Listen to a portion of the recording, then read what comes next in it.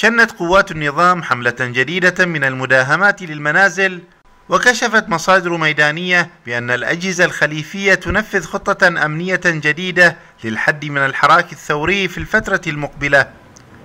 المصادر أكدت أن عمليات المداهمة تشير إلى مخطط أمني واسع لاستهداف النشطاء والقادة الميدانيين حيث تستعد القوى الثورية لسلسلة من البرامج والفعاليات التي تؤكد على إفشال التحالف العسكري الخليجي المناهض للثورة ومحاولة فرض واقع جديد لتسويق التسويات.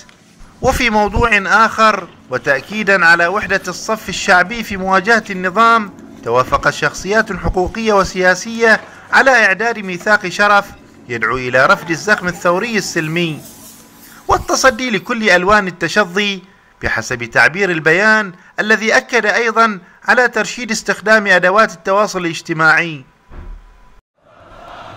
اللجنة التنفيذية لميثاق الشرف قالت بأن الغاية الأساسية للميثاق هو السعي من أجل تحقيق أهداف ثورة الشعب بما فيها حق تقرير المصير.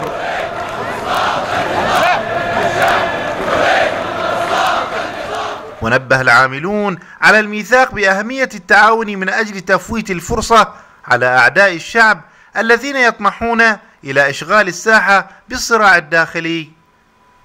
وقالت مصادر خاصة بأن الميثاق سيعلن عنه في العاشر من شهر يونيو الجاري وأنه سيكون في سياق توجيه البوصلة الثورية لمقاومة النظام الخليفي المستبد.